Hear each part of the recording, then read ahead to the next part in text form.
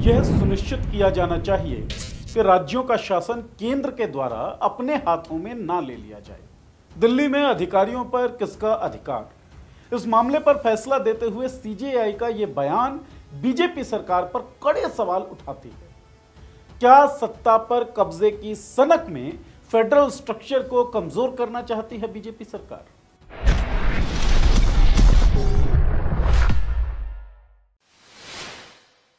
दिल्ली में अधिकारी किसकी सुनेंगे? चुनी हुई सरकार की या नियुक्त किए गए उपराज्यपाल की? इस दुर्भाग्यपूर्ण लेकिन अहम मुद्दे को लेकर सुप्रीम कोर्ट ने फैसला सुना दिया है।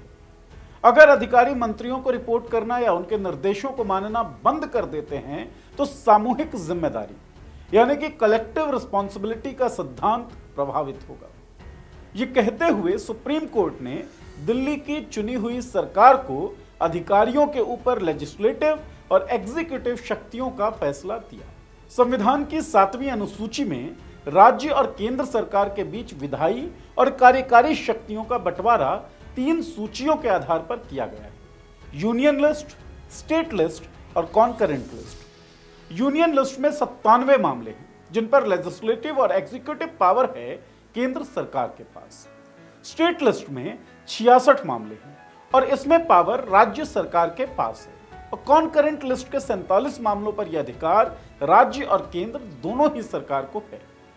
दिल्ली की सरकार सार्वजनिक व्यवस्था, यानी कि पब्लिक ऑर्डर पुलिस और ज़मीन के मामलों को छोड़कर राज्य सूची में शामिल अन्य मामलों में अन्य सरकारों की तरह ही लेजिस्लेटिव और एग्जीक्यूटिव पावर रखती है। सुप्रीम कोर्ट ने माना है कि एनसीटीडी के पास राज्य सूची की प्रविष्टि इकतालीस के तहत सेवाओं पर, यानी कि सर्विसेज़ पर विधायी और कार्यकारी दोनों ही शक्तियाँ हैं। बस इन शक्तियों का विस्तार सार्वजनिक व्यवस्था, पुलिस और ज़मीन के मामलों तक नहीं। गौरतलब है कि 2019 में जस्टिस भूषण और ए के सीकरी के खंडपीठ ने एक खंडित फैसला दिया था। जस्टिस भूषण ने कहा था कि दिल्ली सरकार के पास अधिकारियों के ऊपर कोई अधिकार नहीं। आज 11 मई को सीजेआई डीवाई चंद्रचूड़ के नेतृत्व में संविधान पीठ ने कहा कि वो जस्टिस भूषण के फैसले से सहमत नहीं। सीजेआई ने यह भी कहा कि अनुच्छेद दो ए ए की व्याख्या प्रतिनिधि लोकतंत्र के सिद्धांत को मज़बूत करने के उद्देश्य से किया जाना चाहिए।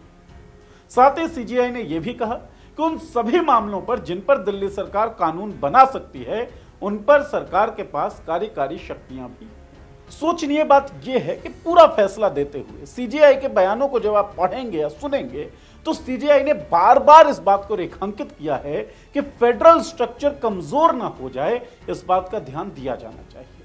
सवाल यहाँ पर यही उठता है कि आखिर क्यों केंद्र में मौजूद सरकार फेडरल स्ट्रक्चर को कमज़ोर करने की कोशिश कर रही है?